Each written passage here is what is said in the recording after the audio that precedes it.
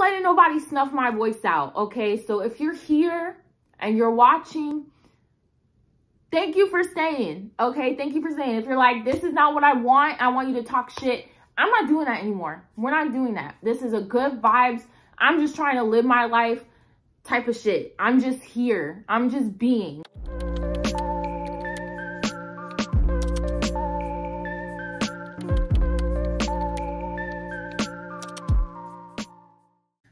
So good morning everyone. Welcome to my channel. Welcome back to my channel. It has been a minute since I said that. Um It's been a minute. It's been a long time. It's been a while. It's been a second. but um I'm going to do some yoga. I just woke up. I ate. So now it's yoga time and then we can get back to this when I have my cup of tea. So it, I don't know if you'll be able to see it, but I like watching um, this YouTuber. Her name is Black Yogi Nico.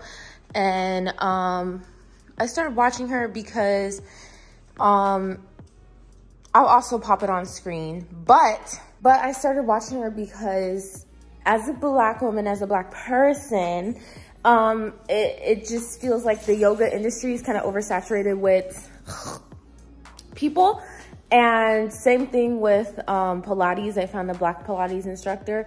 So it was just nice to find someone who looked like me doing this. And it didn't feel like I was watching um, a Gwyneth Paltrow goop yoga thing. If you understand what I'm talking about, then good. If you don't, I don't really care. so I'm gonna go and do my little yoga thing. One more deep inhale. And exhale.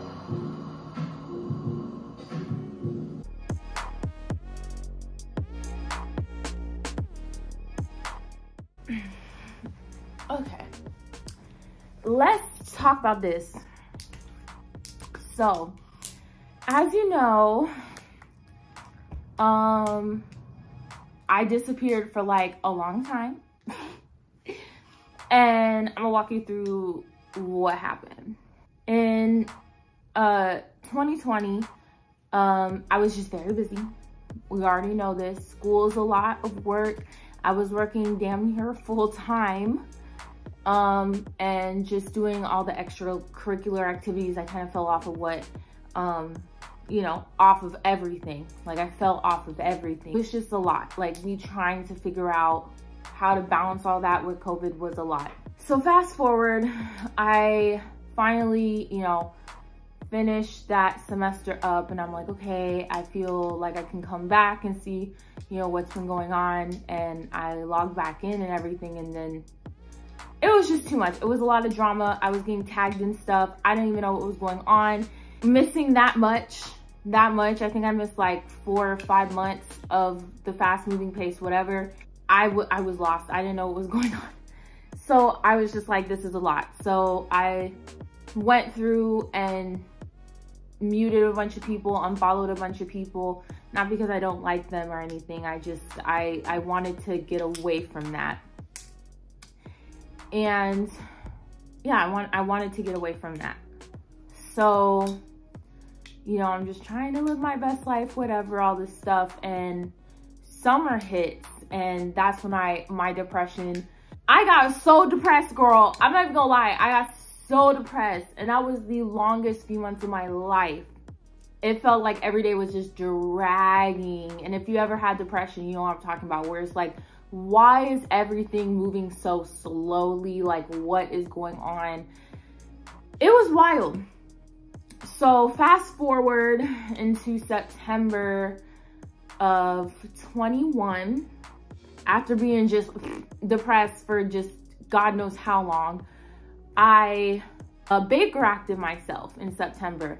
Now, wherever this lands, I know a lot of my subscribers or whatever are still in that realm. And people like to like make fun of people when they talk about this stuff. I know I have talked about my bulimia on Twitter before and people were making fun of it. Um, I'm very proud of myself because now I'm very sure of myself. I don't care. If that's the energy you want to put out, it's going to come back to you. That's just what, you know, it is. So I Baker acted myself. I did, you know, I made my decision. Um, I was diagnosed with bipolar disorder type 2 um, and insomnia.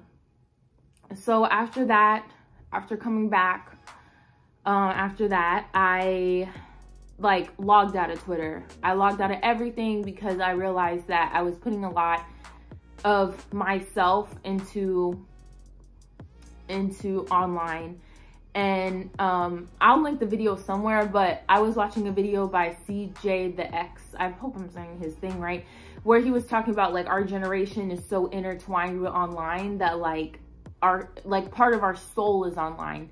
And for me, I would say that it wasn't part of my soul, it was a lot. it was a lot. Like I'm walking around stressed out because people I've never met on the internet are ruining my life, quote unquote, but no one in my actual life knows what is going on.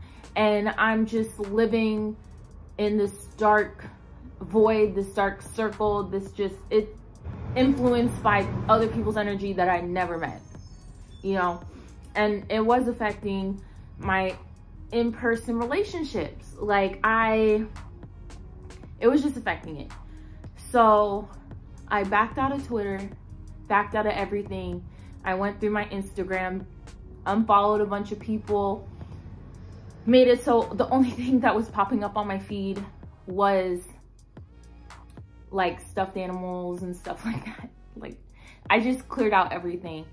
And I went through my subscription list. I unfollowed a bunch of people. I just wanted certain things. I, I just wanted certain things to be on my feeds because it's very easy to go down a rabbit hole of, oh, I'm going to follow this person. And then YouTube recommends you another person talking about the same thing. And then they recommend you this, this, this. And all you have, you know, on your YouTube or Instagram or Twitter, just negative ass like stuff, just negative. And even if they're not talking about you or, you know, it doesn't have anything to do you, it's still that negative energy that has just been being thrown in your face all the time. So I kind of backed off of that. I decided I was like, I can't do this anymore. So I went on my little, on a spiritual journey. I was also already a very spiritual person. Um, I've been like that since I was 14, but I was like, I need to actually get my shit together. I can't just be like, oh, I'm spiritual, whatever, and I'm not doing the work. The whole thing with spirituality is doing the work. So I really started getting into my meditation, journaling, you know, yoga. I have been doing that, but it wasn't consistent and it wasn't with an intention. So I started doing that. Like I said, I started becoming more sure of myself, more sure of who I am. As you can see, new shaved my hair, pierced, got some piercings. Like I literally am just like, this is me. When I realized that, I was like, girl, I'm coming back. So I came back on the Twitter and everything. And for a couple of months, I was like, I want to come back to YouTube. I want to come back. Because before everything happened, this was a, a hobby. Like, it started off as my uh, weight loss channel, which I know some of y'all gonna say, oh my God, you're talking shit about XYZ people and you gain weight. Yes, yes, I did. It's depression weight, okay? And guess what? It's coming off. So, and also guess what? I don't know. but it started out as my weight loss channel. And um, like I mentioned before, I had bulimia, undiagnosed uh, bipolar disorder. It was just a lot. So I was kind of doing this. It was a hobby, but also in the back of my mind, it was like, let me try to please everybody. Everybody's complaining about all these people not doing X, Y, Z. I'm going to do it. I'm going to do it. And it kind of fed into all that negativeness, right? And then 2020 happened and I'm still there. look, I am pro Black Lives Matter, uh, pre uh, capitalism, all right? so uh, all that stuff in 2020 happened and it just became like, it's very frustrating when you are truly trying to like help people, but, and like explain things but it's just like I, I realized that in this fear of where I was trying to do this, these people, it, this is at this point is like, this is their job, right? And clickbait, fun titles, drama. I mean, we all watch the Kardashians. We all watch these reality shows. This is just reality TV on YouTube.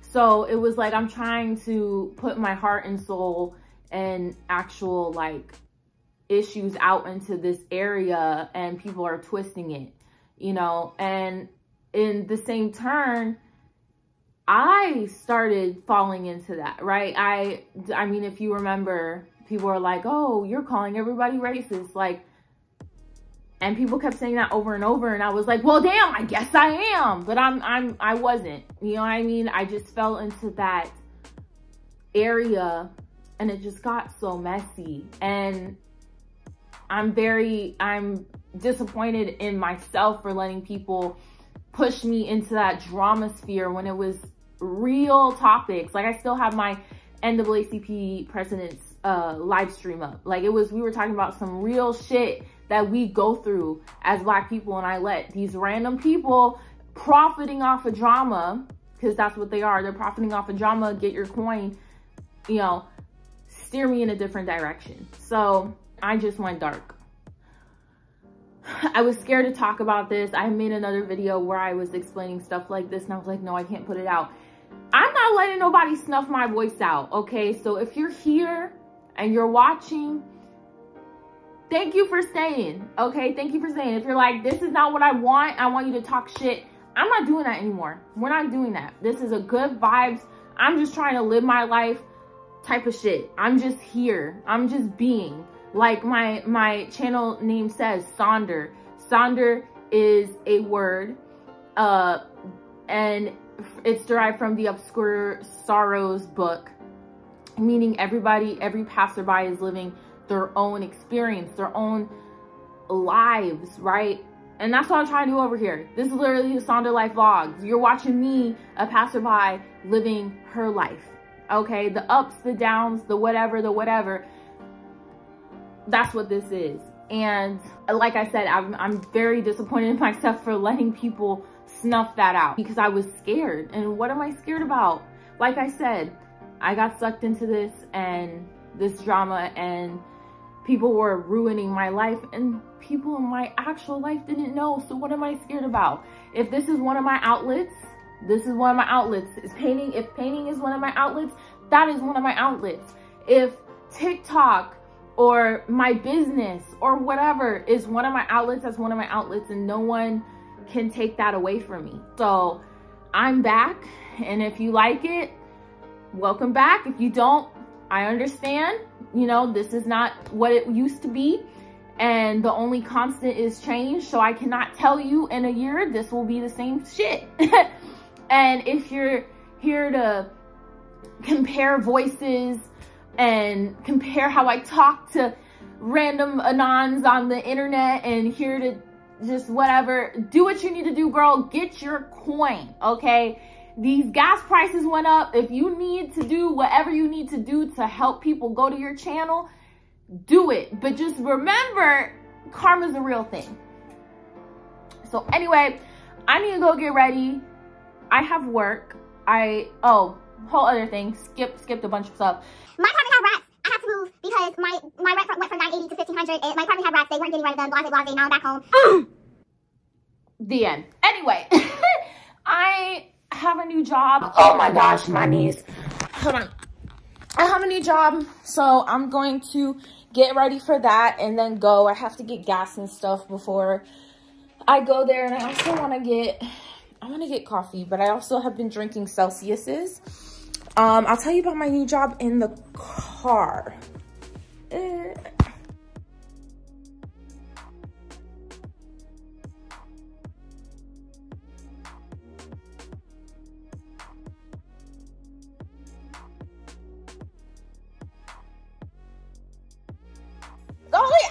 Been listening to, look. And if y'all know about look, the Andrew Tate drama, I if you don't follow me on Twitter, I said Beyonce was talking about the Andrew Tate manosphere when she said it must be the cash because it ain't your face.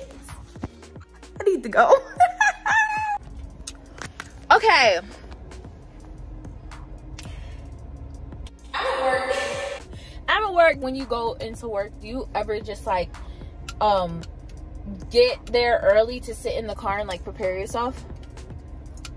Because me, bitch, that's me. I just gotta think about my life. Anyway, I don't. So I used to work at Ulta. Now I work at Orange Theory, which is nice because I get to go uh, work out here for free. So that's fun. Um, it's pretty easy job, pretty fun job, and yeah. Oh, look. Okay, y'all, don't eat me up. Okay, don't eat me up in the comments or on Twitter for not having good angles. Okay, I'm I'm just getting back into this. Don't come for me. Don't come for me about that. But yeah, I'm just sitting here.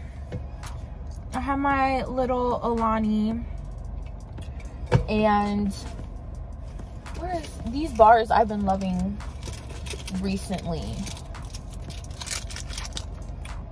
These little quest bars, that was upside down. These little quest bars, girl, they'll fill you up. So I got that. I got my little gum because I always need gum.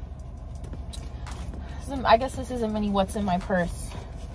I have a notebook because I like writing down my to-do list when I walk when I go into work. Um, I have two books. I have this horror book which I'm almost done with. I literally have like 20 pages left because when I'm done doing what I need to at work, which usually takes me like an hour, hour and a half at most. I like to read. Um, then I'm I started this one, autobiography. I know I'm really late on this. I feel like I got this two years ago and I just haven't read it. So I'm about to read this. I'm well, I started reading it. Um water. I was gonna have this is a half gallon of water. And yeah that's what i'm working with. I'm probably gonna like doordash some food or something later because i'm here till 5:45 and it is 10:57 so i'll probably doordash lunch. I'm gonna go into work and clock in. Okay i don't know if you can hear me but it's rest day i just did my walk i am running the back because my legs hurt i'm about to do this mask i've been doing this for a while. Um, it's the Amazon Amazon Aztec clay mask. And I like to use it in many, I use the apple cider vinegar in the mixture.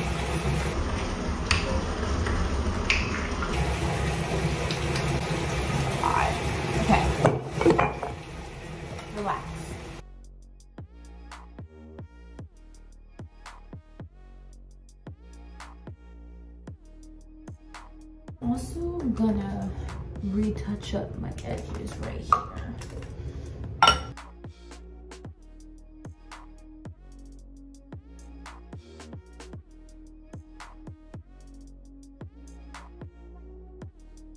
Good morning. Today we are going to FAU to um, table because they we want to charter there. So um, I did my makeup just a little bit and I have my shirtsies. Period. It's been a minute. And um, I'm about to go get some coffee. And then um, I'll be going on the road with my prophyte Miss Courtney. I miss her so much. I'm very excited though. And I decided I was going to take you guys along because I didn't really do anything yesterday but go to work. Um, so I thought, I was like, okay, let's go on an excursion because I'm going on one. So why not take you all? So let's go. Hello. Ah! It's been forever. It's been a minute. It's been a whole minute. It's been a whole minute. And now I'm back. Not at the same school, but I'm back. If I can remember, I'm able to